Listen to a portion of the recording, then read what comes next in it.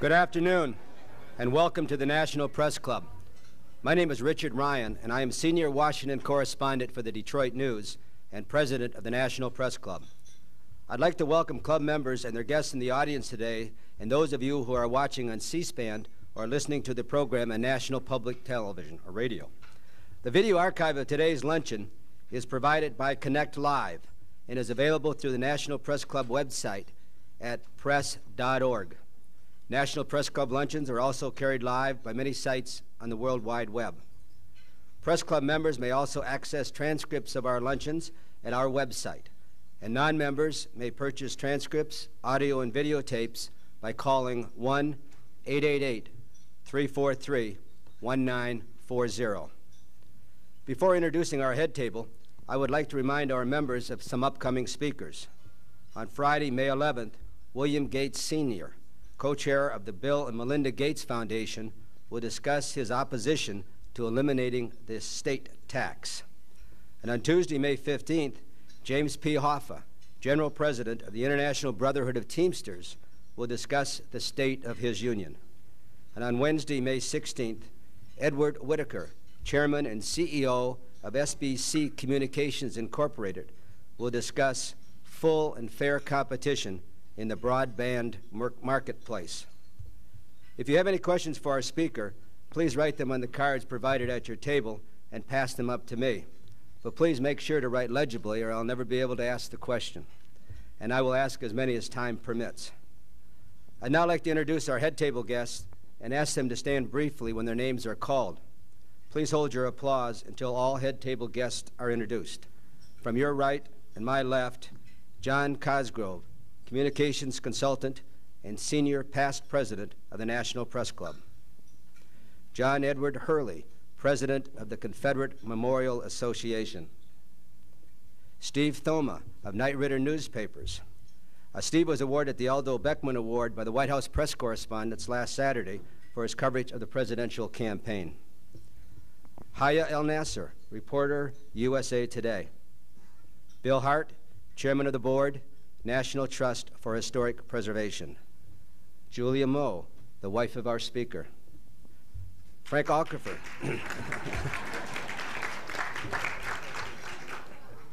Frank Aukofer, chairman of the club's Speakers Committee and a former president of the National Press Club. Speaking, skipping over our speaker for a moment, Al Eisele, editor of The Hill, a former colleague of our speaker on Vice President Mondale's staff, and the committee, Speakers Committee member who organized today's luncheon. Thank you, Al. Linda Wheeler, The Washington Post. Kevin Diaz, Minneapolis Star Tribune. Ed Felker, Small Newspapers, Rochester, Minnesota Post Bulletin. Michael Marlowe, producer, White House Chronicles television program. And Gil Klein, Media General News Service, and a former president of the National Press Club.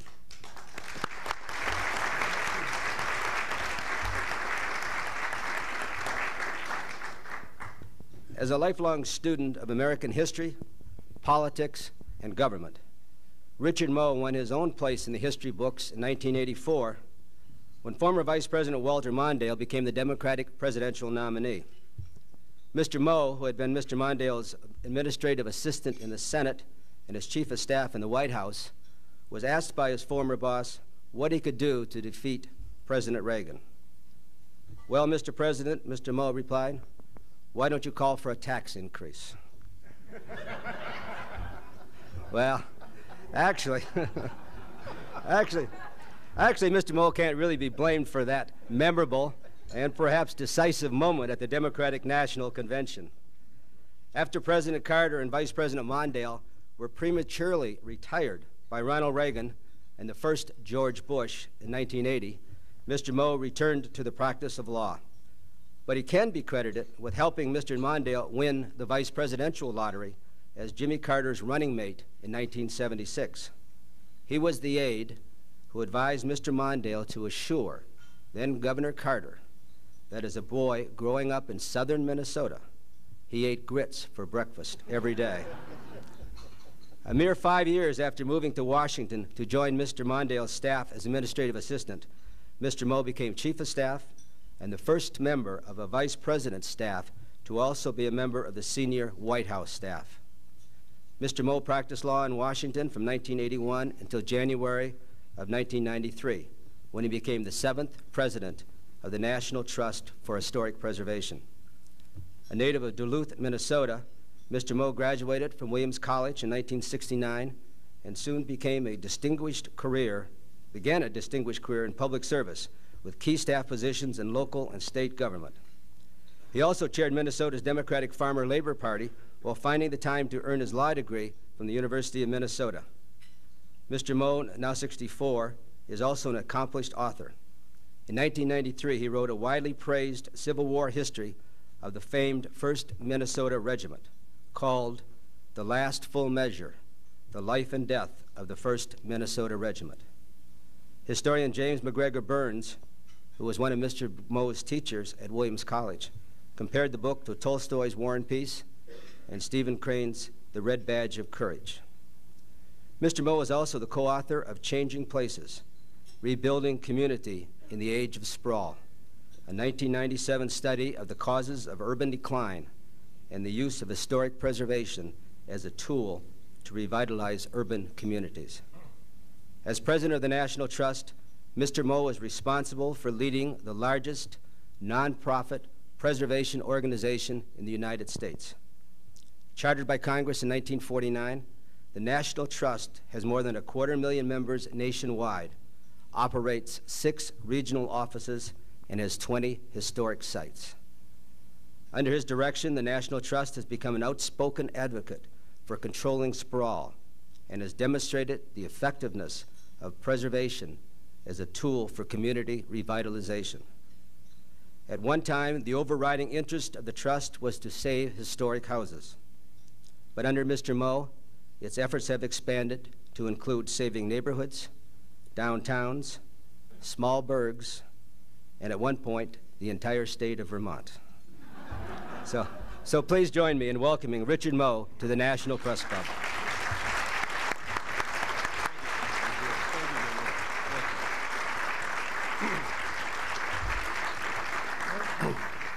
Thank you, Dick, very much for having me back to the Press Club. It's a great privilege to be here. I knew Dick in an earlier life when we were on several campaign trails together, and uh, I understand you were a wonderful MC at the Gridiron dinner this year. And we thought we'd do some skits today. If singer. that was a singer, singer. yeah. Okay, right. And Al Eisele, my old friend from Minnesota, thank you, I think, for uh, inviting me and arranging for this, uh, that, that bu business about the tax increase in 1984. We'll talk about that later, Al. But I am delighted to be back here. Uh, I wanted to talk just briefly today about uh, what's going on in some of, some of America's cities. Uh, everybody loves good news, and America's cities have had a good dose of it lately. Employment is up, urban, urban crime rates are down, construction cranes have sprout, sprouted everywhere, and shiny downtown projects, whether new sports arenas or convention centers or museums, have opened to great fanfare in city centers from coast to coast. More important, people are coming back to the cities. New census figures indicate that the great migration to the suburbs, the huge outflow of people and commerce that bled the vitality out of so many urban centers in the decades since World War II, has slowed down. Population actually increased in some cities uh, in the last decade, some cities as widespread as Boston, Atlanta, Chicago, and Denver, all of which had seen their populations drop in the previous decade. In short, and at long last, America's cities appear to be making a comeback. but it's much too early to claim victory. The good news is still very heavily qualified. To begin with, many cities are still hemorrhaging people. In some places, an overall increase in urban population simply reflects the fact that many suburbs have reached urban density. In cities that have experienced real population growth, much of it is attributable to an enormous influx of immigrants during the decade, which I think is a very good thing and a very positive force for most cities. In short, some cities are doing better, and some cities are doing better than others. But even in the cities that are making progress, many neighborhoods are still being left far behind. What's more, the flight to the, the suburban fringe has not halted. Just look at New York City, for example. While the city itself grew faster than the inner, inner ring suburbs in the 90s, the outer suburbs grew even faster. Finally, the development of once rural uh, land continues at an incredible pace. More than 17,000 square miles of land that was rural in 1990 reached suburban or urban density by last year. 17,000 square miles. A Department of Agriculture official estimates that about 2 million acres of farmland are developed every single year. Uh, in, in, the Atlanta area alone, 50 acres of forest are lost every day. Sprawl is still obviously very much alive and well in America. Our cities still have a long way to go before we can proclaim that they're back. And if they're ever going to make it, the federal government has to play a role in the process. Over the years, federal housing and transportation policies have had the effect, whether intended or not, of driving people out of the cities. And in plenty of others, other areas, from tax codes to infrastructure investment to the location of federal offices, the government has contributed heavily to today's urban problems. Now I believe it has a clear duty to play an active role in solving some of those problems. At the very least, our cities deserve a level playing field where federal policy is concerned. 50 years ago, the federal government began to offer economic inducements to families that wanted to flee to the suburbs. Now it's time to offer the same kinds of inducements, I think, to help people return to or to stay in the cities. Now, this does not have to mean creating a whole new set of programs. It can simply mean recognizing what is already working. One of the things that is working is historic preservation. As a growing number of America's cities are being reborn, historic preservation is playing a major role, in, ma in many cases, the leading role in the process. That's right, historic preservation. Some may be surprised to hear that. And if so, it's probably because preservation is not what they think it is. Preservation has matured from a passionate, vocal band of outsiders, the proverbial little old ladies in tennis shoes, to an equally dedicated but much more sophisticated national movement that is having a profound effect on the look and livability of America's communities. What's more, the ranks of people who are doing the actual work of preservation today include plenty of public officials and bottom line business leaders who probably would never think of applying the, the label preservationist to themselves. Let me cite a recent USA Today article about what's happening in Chicago. Quote, downtown has seen a renaissance. River North, an area once filled with factories and vacant buildings, is now a hot entertainment district with art galleries and high-rise condos. The South Loop, once the printing district, has new housing developments, restaurants, and tree-lined streets. End quote. Now, the term historic preservation doesn't appear anywhere in that paragraph, but the urban rebirth that it, is, that it describes is exactly what historic preservation has become today.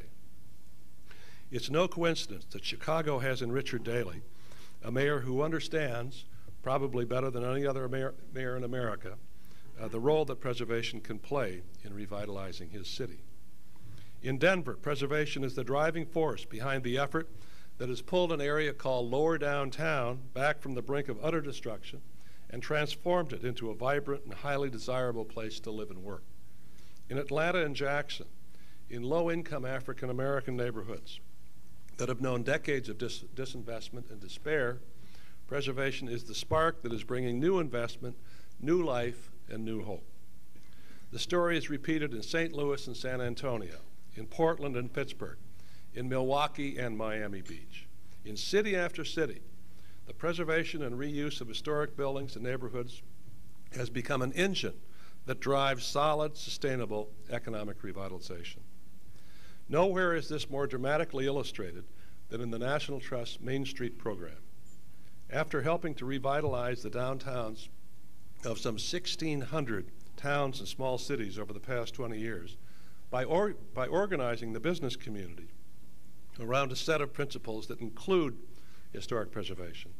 The Main Street program has moved into the neighborhood commercial districts of the nation's major cities. With strong leadership and support from Mayor Tom Menino, The program is revitalizing today 19 commercial districts in Boston. Mayor Martin O'Malley initiated a similar program in Baltimore last year, and Mayor Tony Williams has promised to start one in Washington soon.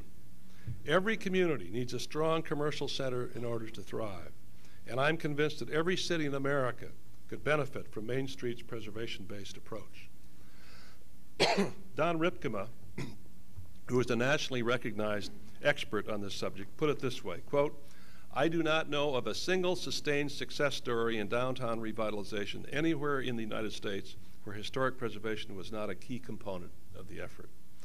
That doesn't mean it isn't theoretically possible to have downtown re revitalization without historic preservation, but I don't know about it, I haven't read about it, I haven't seen it, end quote.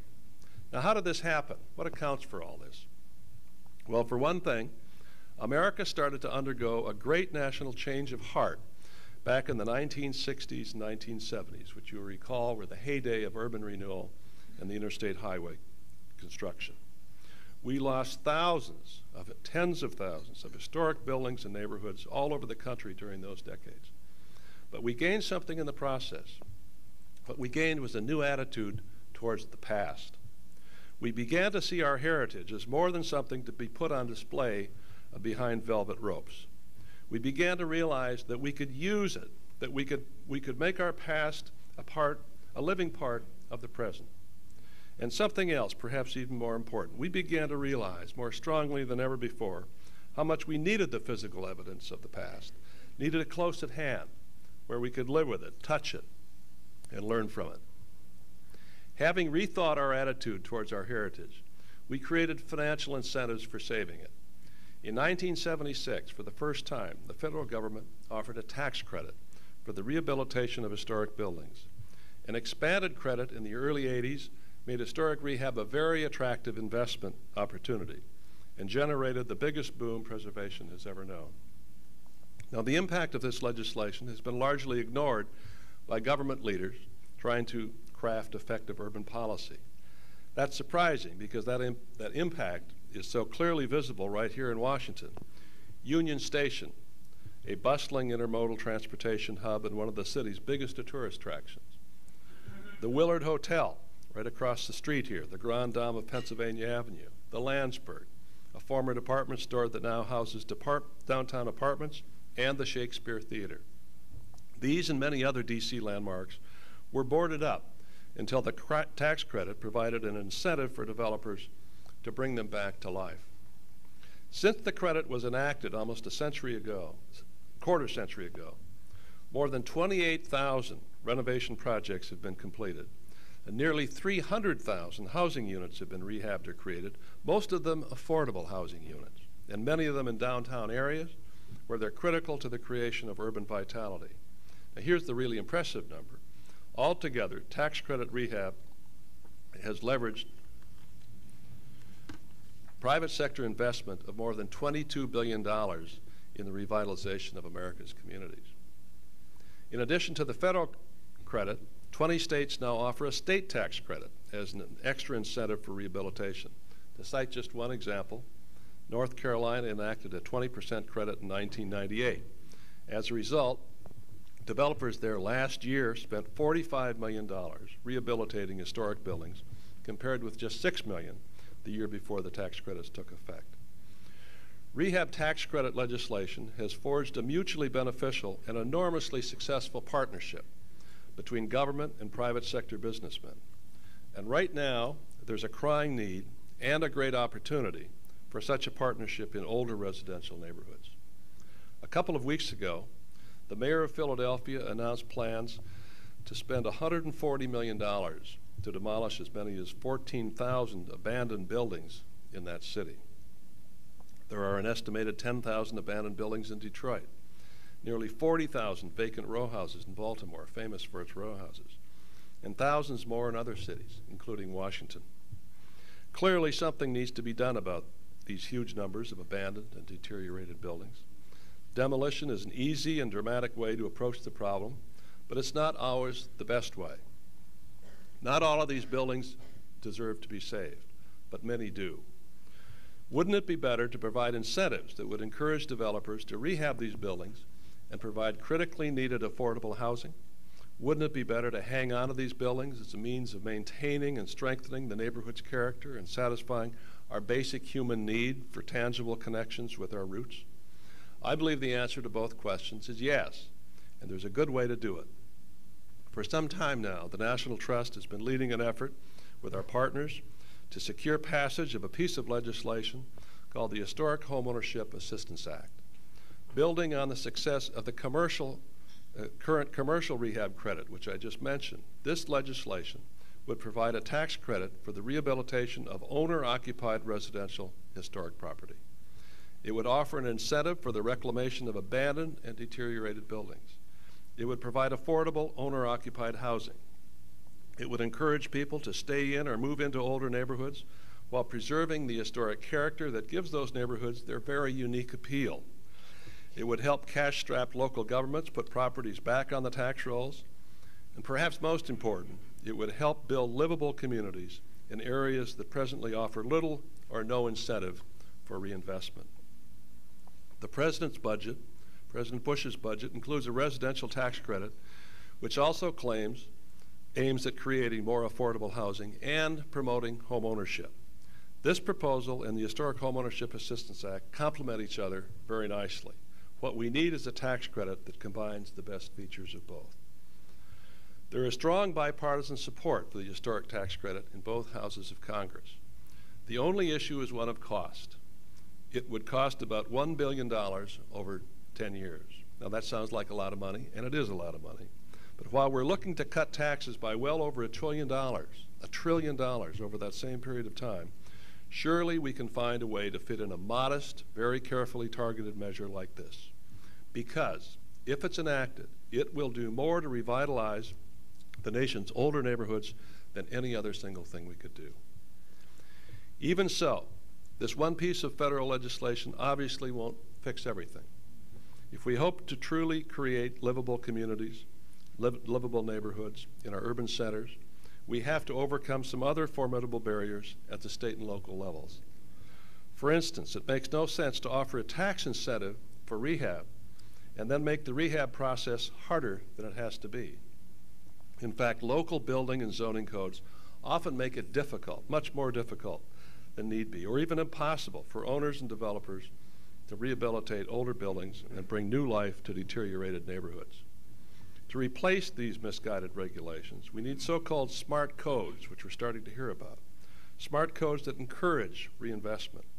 Some states have taken laudable steps in this direction. In New Jersey, for example, has enacted a statewide rehabilitation subcode, which is a set of rules for the renovation and reuse of older buildings that allows for the retention of historic character while still allowing modifications and, and ensuring safety. This new code has had a dramatic impact. Within a year of its adoption in 1997, rehab of older buildings jumped by 60% in Newark and by 80% in Jersey City. Now other states, including Maryland, are starting to follow suit. Also at the state and local levels, we need to support and strengthen the institution that is the strongest anchor of a truly livable community, and that, of course, is the neighborhood school. Thanks to inadequate maintenance budgets, misguided state education department policies, and consolidation of smaller facilities into some of these mega schools. These cherished icons, the neighborhood schools, are being abandoned and demolished at an alarming rate. We should be doing all we can to keep these schools alive, but instead, we're increasingly tossing them aside like yesterday's newspaper. With sensitive renovation and adequate maintenance, older schools can provide first class learning facilities, as well as, or even better than, huge impersonal new schools in locations accessible only by car and too remote to have any meaningful connection to the community where the student lives.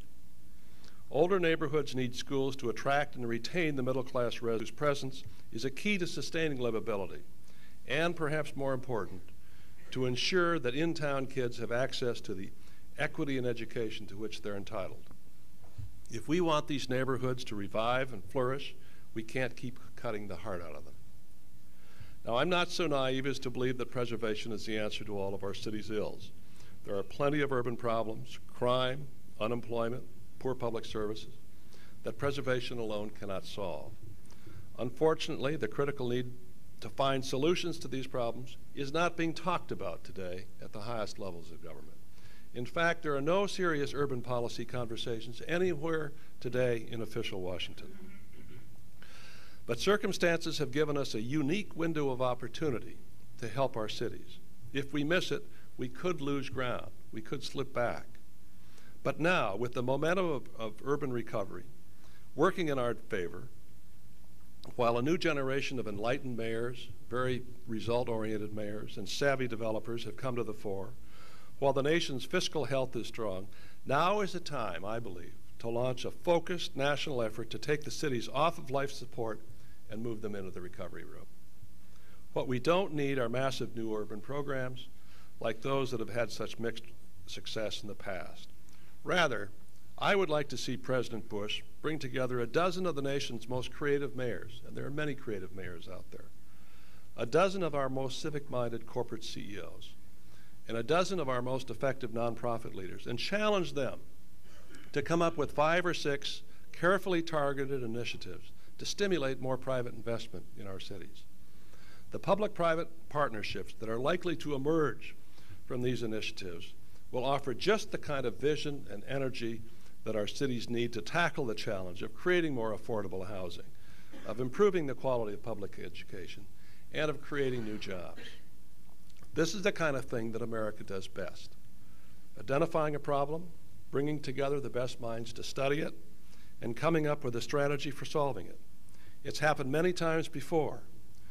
In fact, during the previous Bush administration, a high level summit meeting pushed the issue of education to the top of the national agenda. And as a result, there is now broad bipartisan agreement on the need to focus the nation's energies and resources on improving our schools. And in fact, President Bush has doubled funding for proposed doubled, doubling funding for literacy, something for which he should be commended. We need the same kind of focus on mending the rest of America's tattered urban fabric. Report issued yesterday by a group called CEOs for Cities spotlights the powerful forces for positive change that are already at work in cities as diverse as Denver, Boston, Jacksonville, Richmond, Jacksonville. We need to learn lessons from the successes already being felt in these and other cities. We need to tap into the enormous energy and expertise available in the private sector and to recognize and emulate the groups and techniques that are already making a difference. Forging effective private public partnerships, emphasizing the preservation and reuse of existing buildings, eliminating barriers and creating incentives for reinvestment. These are tools that work. And it doesn't take a genius to know that when you have a tool that does the job effectively and efficiently, you use it.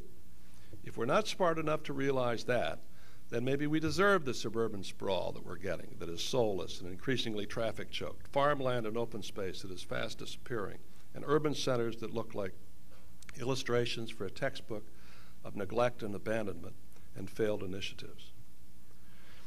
In a new book about urban design entitled The Seduction of Place The City in the 21st Century, author Joseph Rykwert notes that, quote, irrationality and miscalculation sometimes ruinous miscalculation, are an inescapable part of the history of urban development.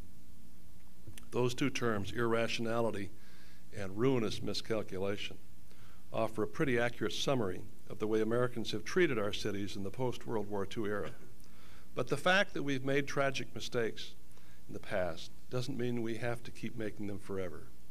We need to learn from those mistakes we need to recognize that there are powerful forces, including market forces, that we can harness to accomplish the hopes and aspirations that we all share for our cities. It's a question of priorities and leadership. No great nation, including America, can survive, let alone thrive, without healthy urban centers. If we continue to allow the cities to rot at the core, the blight will spread outward, and it's already happening. Problems that were once confined to inner city areas are now plaguing the older inner ring suburbs. We can run, but we can't hide. Reclaiming the cities now, while we have the opportunity and the tools at hand, is the sensible thing to do. It's also the right thing to do, and I'm convinced, convinced that most Americans know that. They're simply waiting for the leadership to make it happen. Thank you very much.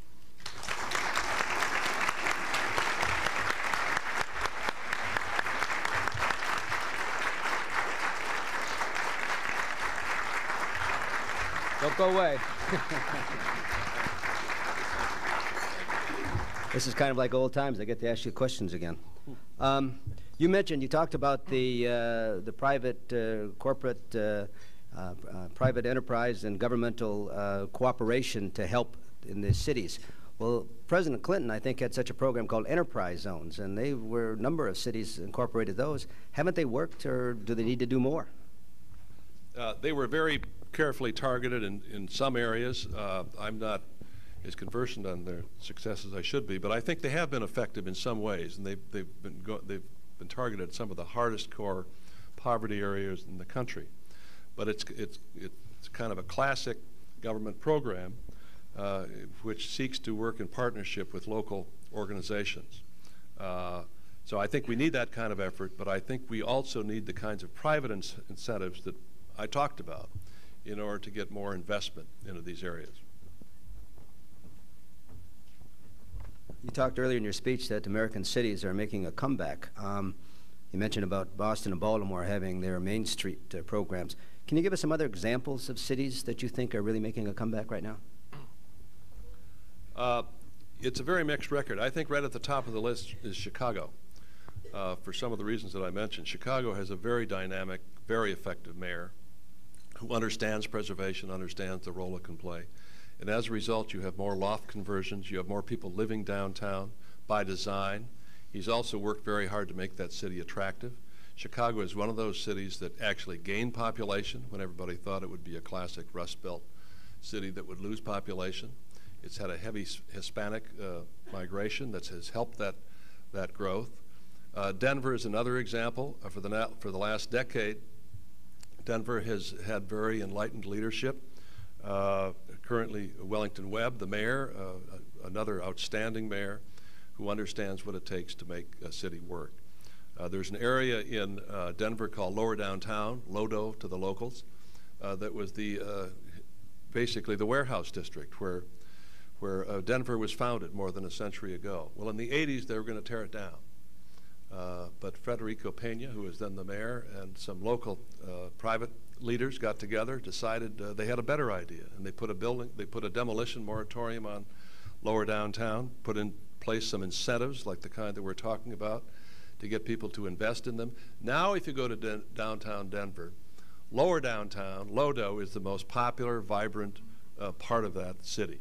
It's a fabulous place, it's, and it's a mix of uses, and I think understanding how mixed use mixed uses come together is very important in, the, in this effort. It's residential, it's commercial, it's entertainment, it's light industrial. It's so popular. This is where they put the new Rockies baseball stadium, not the other way around. Uh, people love restored historic districts. This is what gives downtowns vitality. And uh, downtowns are enormously important to the success of cities. Uh, they're not just the economic engines that drive these cities, but they're the social center. And in many ways, they're the heart and soul of cities. And that's why we put so much emphasis on downtown revitalization uh, as well as neighborhood revitalization. This question would like to know if there, if you see that if there is any hope at all for cities such as Camden, New Jersey, Gary, Indiana, and East St. Louis. Well, those are the toughest toughest cases in the country. There's no question yes. about it. There's no question about it. But I believe there is hope for those cities. They're they're going to they're going to come along after some of the other cities. But what I think we increasingly have to do is look at the assets that these cities have. They have many assets, but among them uh, are the older structures that exist there. Uh, this offers enormous potential for rebirth. Uh, but as I said in my remarks, preservation alone can't solve these problems. There are issues of crime, uh, unemployment, uh, poor public services, and bad schools that also have to be dealt with. But what we found is that if you can improve the living conditions in a neighborhood, if you can provide a more livable community, more livable neighborhood, a lot of these other issues are easier to solve. They're not automatically solved, but they're easier to solve. Because pe if people have respect for their community, they're going to have respect for each other. And, and a lot of a lot of things will flow from that. So yes, I think that uh, you know I'm not prepared to give up on any city in America. I think they all have assets, and they all, they all there's reason to be hopeful about all of them. I think a lot of mayors would be saying, "Good, send the money." Um, the new census numbers show more growth in, in remote counties of our country, and this question wants to know if this is a sign that Americans are continuing to flee congestion, or are they creating more congestion by their simply moving? It's a complicated story, and we're just now beginning to understand what these new census numbers indicate. There are more people living in remote in remote areas, uh, and I think you, you, can safely conclude that some, if not most of them, are fleeing congestion and and uh, and, and, all the rest. But the the most significant trends uh, of the latest census indicate that people are still moving out of cities, particularly the middle class, is moving out of most, most northern cities. This is much less true when you get further south and into the west. We also have, as I mentioned, uh, an influx of, of, immigrants, particularly Hispanics, uh, to most of our cities. And, you know, to put this in perspective, uh, this is really the story of America, and I think it's a very positive story.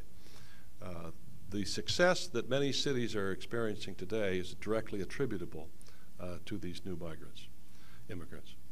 And, uh, and because they are filling up the vacant housing, they're filling the jobs that need to be filled, and they're bringing energy and, and real value uh, to these cities. The problem is that we have to staunch this exodus, I believe, of middle class people from our cities, and we have to attract more back. Now, I'm sure I'm going to get a question on gentrification, so I'll just address it right here. Uh, and it's a fair question, and it's something that interests a lot of people. uh, gentrification uh, has, has been an issue in the past, particularly in the 70s when low-income people were displaced by other people coming back into historic districts. The preservation movement learned a lot from that experience. And as a result, it's now our first goal to keep people in the neighborhoods and in the homes that, that they want to stay in. At the same time, there has been so much disinvestment from our core cities uh, in recent decades that there is all this vacant housing, much of it historic housing. I mentioned the 40,000 uh, vacant row houses in Baltimore. We need to keep middle, more middle class families in the cities, and we need to attract more back. And the people, and there is now, happily, I think, a small trend in that direction in many cities. Uh, I was in Cleveland, Cincinnati, uh, Pittsburgh, uh, other classic Rust Belt cities recently. And there, in every one of those instances, there is a migration back to the city. And the part of, as you would understand, empty nesters or single people because schools still tend to be a huge problem. Uh, public schools still tend to be a problem in most cities. but that, but that I think is a, is a very positive thing. And the one thing that, that I think is adding to the revitalization of downtowns is the fact that a lot of people find downtown urban living a very attractive option again. And they hadn't for a long time. But now it is an option. We see, we see some of it here in Washington, not enough. Uh, but in places like Cleveland, you go down the Euclid Avenue corridor, uh, there, there are all kinds of uh, loft conversions underway and, and new apartments being created and more and more people living downtown. Cleveland is asking for gentrification because they have lost so much of their middle class in the last 20 or 30 years that it's a city of poor people. The average price of a house in Cleveland today is $60,000, which makes it very attractive for some people, and they have great neighborhoods. So it's a very complicated issue. There's good gentrification, there's bad gentrification. The, as I mentioned, the first goal should be to keep people where they, where they want to stay. But we also have to recognize that no city can survive without a strong middle class. large uh, uh, retailers like uh, Walmart, Home Depot, and such like to locate out in the suburbs because there's parking and more people get can get to their locale. Uh, so how do you convince those kinds of retailers that there is an, there is a good market in the city, that, but that it requires a different, uh, probably kind of a different building, a different uh, way of doing business? Well, this is also a very interesting phenomenon, one that we've been very focused on at the National Trust uh, the development of the superstores, the, the, the, the, mega discount stores, has been a profound uh, factor in the, in the development of the suburbs. It, they will tell you that they followed the population of the suburbs, but they are also helping to bring the population to the suburbs. Uh, and they're doing it in ways that I think are destructive of community, that are uh, harmful to uh, aesthetics. Uh, they are, uh, I, I, think, one of the most damaging forces uh, in, in, in America today in terms of what it's doing, doing to our economic and social fabric. we have strongly urged the discount stores to work with communities in terms of their size, their design, and their location. And one of the first things I did coming to the National Trust after we put Vermont, the entire state of Vermont, on our endangered list because it was the last state without a Walmart, uh, no longer the case, that I went to uh, Bentonville, Arkansas to meet with the then CEO of, of Walmart to ask him to try to redesign a small 50,000 square foot store so that they could locate in downtowns and reinforce the, the business activity in downtowns. Well, they were very polite, but I, I was made to understand uh, that the economies of scale would not work, that uh, only a 200,000 square foot store uh, could work, and therefore they were going to stick with their formula. Well, it, they were so eager to get into Vermont that they went into downtown Bennington and occupied an old Kmart store simply so that they, they could say that they were now in all 50 states. Well, I happened to be up there after they opened, and I went in to uh, ask for the manager, and I didn't identify myself, but I said, "Oh, now how are you doing? This is a 50,000 square foot store. Can you can you make it?" And he was just proud as punch. He says, "We have the highest sales per square foot of any Walmart store in the chain." and and uh, and now, of course, their Walmart has, identi has identified this market uh, because all the other markets are saturated. What I think the basic point is that the nature of retailing is always changing in America. We've gone from department stores to shopping malls to discount stores to catalogs to the internet, and it'll continue to change. A couple points. What, the current trend is back towards traditional downtowns. People like downtowns, and that's and I. I'm very pleased uh, that our Main Street program, which is focused on the revitalization of downtowns, has I think had something to do with that uh, in terms of making providing models and formulas for making those downtowns work more effectively. But the basic point is that every community can be what it wants to be, can shape its own destiny. The problem is that some of these superstores come in with such enormous political and legal and financial resources that it overwhelms the capacity of the community to deal with it effectively. Uh, that was true up in Lancaster, Pennsylvania, where these very small towns in some of the most beautiful and rich farmland in America were just overwhelmed uh, by Walmart and other retailers. If they're serious about being good corporate citizens, they should try to work with communities and not try to work against communities. They should try to determine what the community needs in terms of size and location and services. There's no question they're very good retailers. They're the best in the country. Uh, but they're not always the good corporate citizens that they should be. There is, of course, a lot of economics involved in this, and there's a couple questions that deal with that. And this one question says, um, how can you convince uh, people that we ought to save three and four story buildings when the land is zoned for 10 or 12 stories? Who will pay the property owner for not developing the site? Well, uh, I'm not sure I follow that, but I'll try. Uh, there are three and four story buildings that have served uh, that community well for some years and presumably can continue to serve the community well. Again, this is a matter of community choice and community determination, and that's really what, what formulates zoning codes. Uh, it should be within the ability of a community to determine that it wants to retain its older buildings that have character. Uh, uh, because if you take if you take a uh, if you take a significant historic building out of a streetscape and put in something that's totally out of scale because it's 10 stories high instead of three, three stories high, like the rest of the buildings, uh, you really destroyed the, the streetscape and the character of that entire block, if not the entire downtown. Those are the kinds of things that communities should be able to determine for themselves. And unfortunately, uh, more and more communities are focused on this and what it takes to make a downtown work. So I think uh, I'm not troubled by that. Uh, uh, there are uh, there are a lot of people uh, who think that uh, every property ought to be realized for its fullest value, fullest economic value. Uh, that's, uh, that's important, but it's not the only factor that should go into these decisions. we can all remember uh, the urban renewal programs of the past. And this questioner wants to know how we can ensure that communities of color are not negatively impacted by the positive steps toward rehabilitation. Well, that's a, that's a very good question. Urban renewal was the worst thing that ever happened to uh, urban America. It was well intentioned. It was started here in the Truman administration, provided billions of dollars to cities to tear down their historic fabric. Uh, and this is why you see so many vacant lots in downtown still all over this country. Uh, because once you tear down a building with no specific concrete plan to replace it, the experience is that it will remain a parking lot for a generation at least. And, and that's what urban renewal did.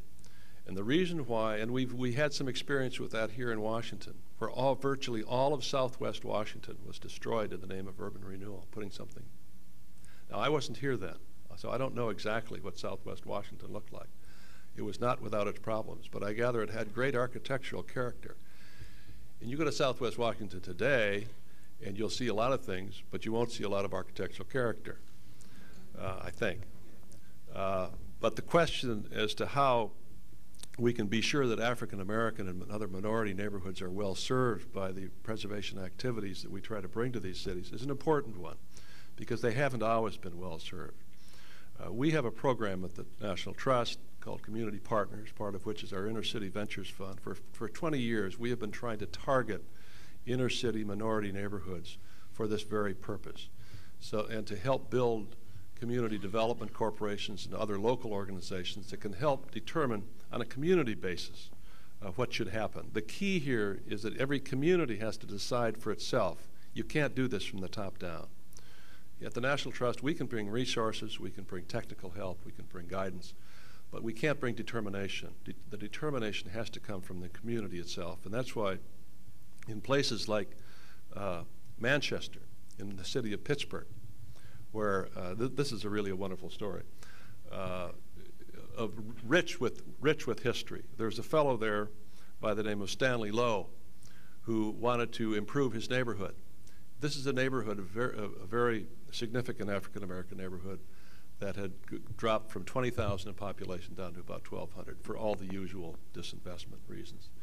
Well, he wanted to do something for his neighborhood. So he said, well, these people are leaving for the suburbs. Let's give them some suburban housing.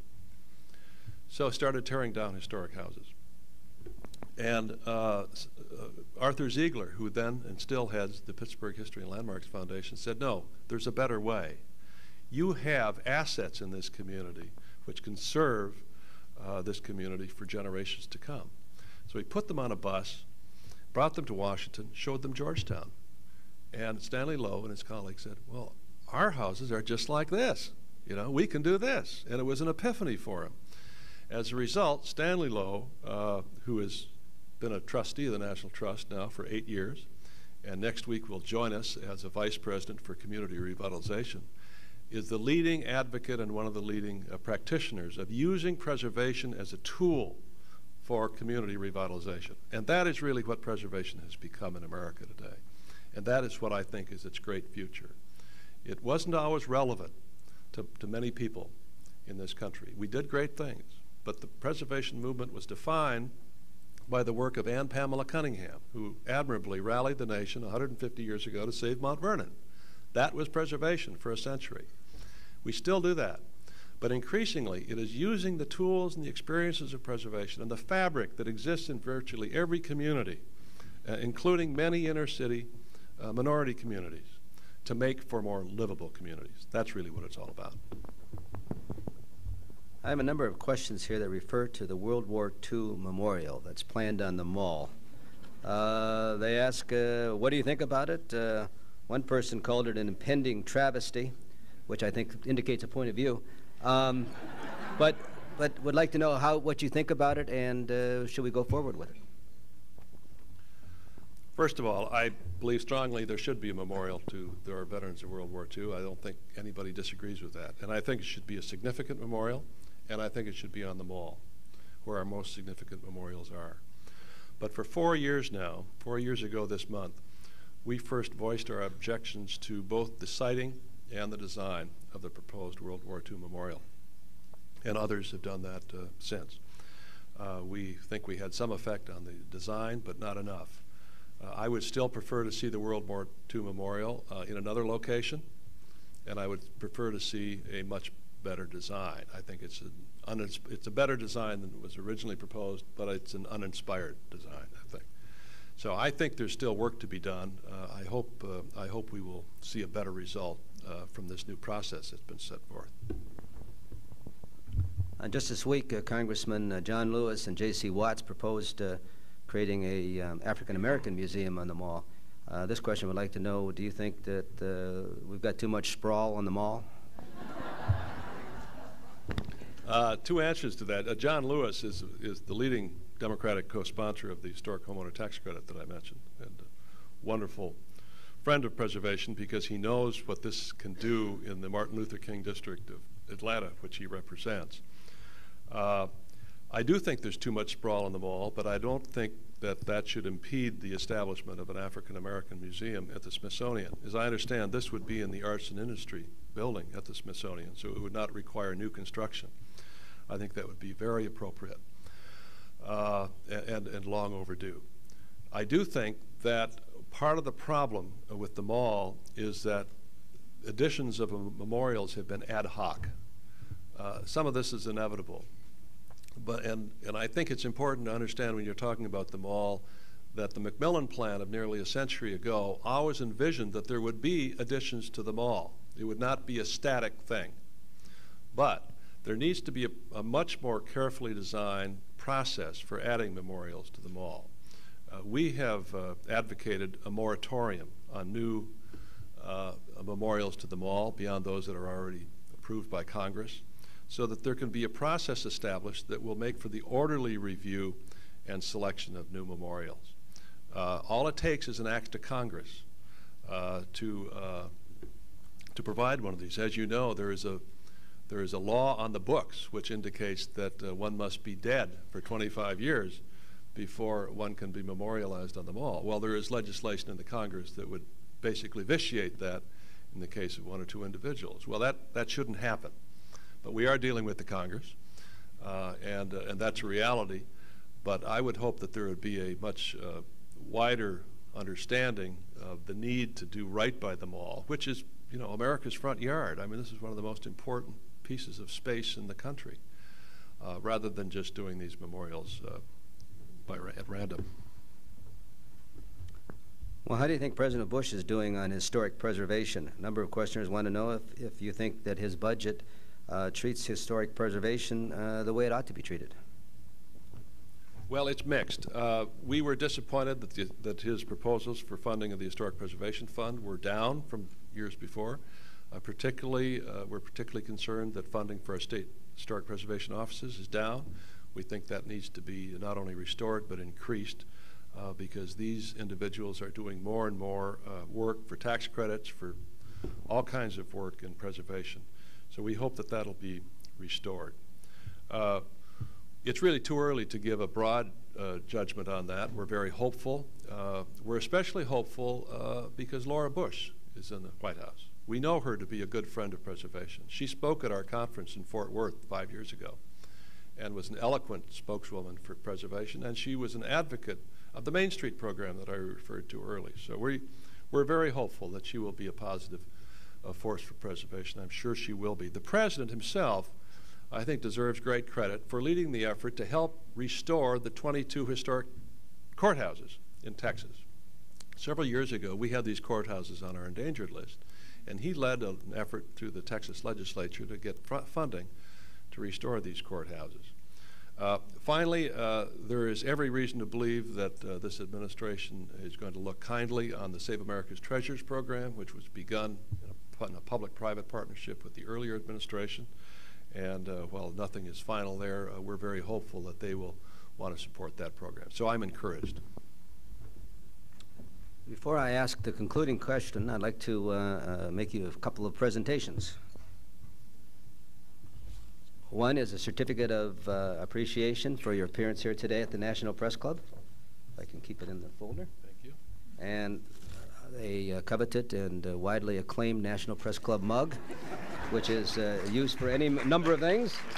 Thank you. And um, as a last question, I'd like to ask you, um, going back to your days as a politician uh, for many, many years, tell us about life after politics. Uh, do you do you ever miss it when you when you look get up in the morning and see the campaigns going on? Do you say, "Gosh, I wish I was there." Not recently. no, I really don't miss it. There- is life after politics, as I tell all my political friends who are here. There's life after everything, actually. We are so lucky to live in a time when you can go out and reinvent yourself a couple times during your lifetime, you know. Uh, that wasn't true in my parents' generation. People tended to do one thing for a lifetime. But isn't it so much more fun to go out and do different things? And I feel so fortunate to have, I, I enjoyed my time in politics and the White House and all the rest, and I wouldn't give up any of it for a minute. But I've never had as exhilarating an experience as I'm having at the National Trust. This is a wonderful organization, wonderful people, too many airplane rides, but everything else is great. Uh, and, and I think this is a movement that is really making a difference in America, community by community. And I think it has a great future, and I'm just very privileged and proud to be part of it. Thank you very much. Thank you, Dick.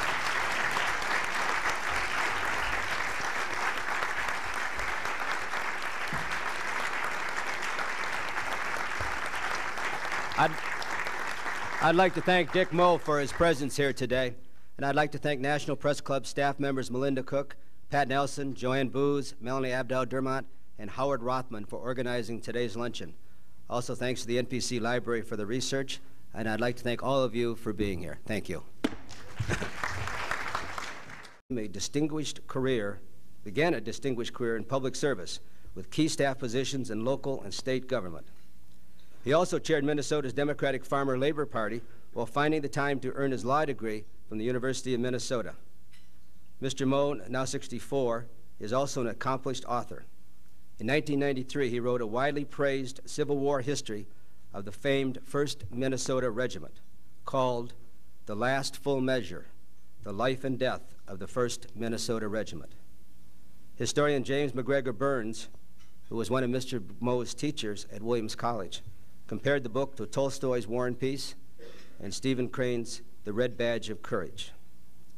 Mr. Moe is also the co author of Changing Places Rebuilding Community in the Age of Sprawl, a 1997 study of the causes of urban decline and the use of historic preservation as a tool to revitalize urban communities. As president of the National Trust, Mr. Moe is responsible for leading the largest nonprofit preservation organization in the United States. Chartered by Congress in 1949, the National Trust has more than a quarter million members nationwide, operates six regional offices, and has 20. Frank Aukofer, chairman of the club's Speakers Committee and a former president of the National Press Club.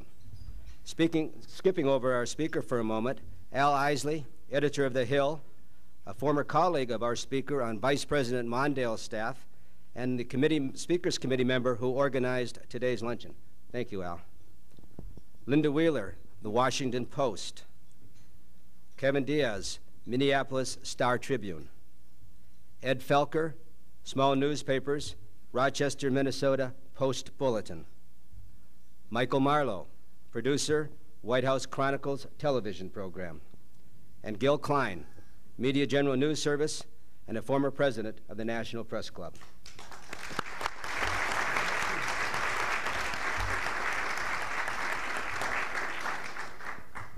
As a lifelong student of American history, politics, and government, Richard Moe won his own place in the history books in 1984 when former Vice President Walter Mondale became the Democratic presidential nominee.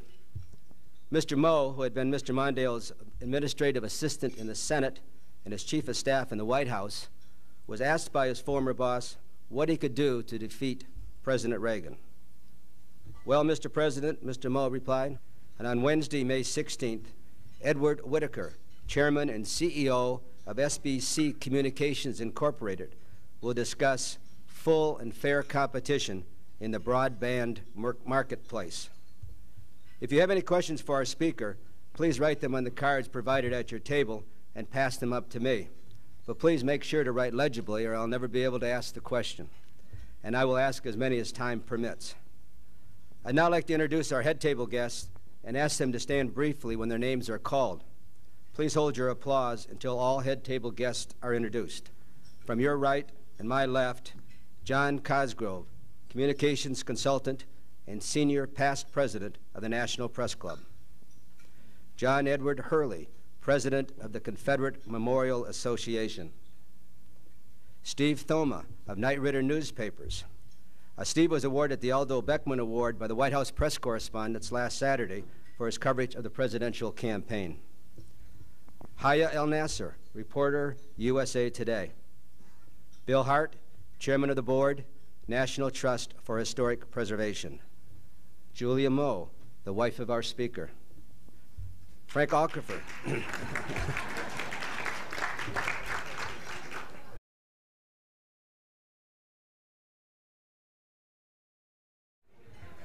Good afternoon, and welcome to the National Press Club. My name is Richard Ryan, and I am senior Washington correspondent for the Detroit News and president of the National Press Club. I'd like to welcome club members and their guests in the audience today, and those of you who are watching on C SPAN or listening to the program on National Public Television or radio. The video archive of today's luncheon is provided by Connect Live and is available through the National Press Club website at press.org. National Press Club luncheons are also carried live by many sites on the World Wide Web. Press Club members may also access transcripts of our luncheons at our website, and non members may purchase transcripts, audio, and videotapes by calling 1 888 343 1940. Before introducing our head table, I would like to remind our members of some upcoming speakers. On Friday, May 11th, William Gates Sr., co chair of the Bill and Melinda Gates Foundation, will discuss his opposition to eliminating the state tax. And on Tuesday, May 15th, James P. Hoffa, General President of the International Brotherhood of Teamsters, will discuss the state of his union. Why don't you call for a tax increase? well, actually, actually, actually, Mr. Moe can't really be blamed for that memorable and perhaps decisive moment at the Democratic National Convention. After President Carter and Vice President Mondale were prematurely retired by Ronald Reagan and the first George Bush in 1980, Mr. Moe returned to the practice of law.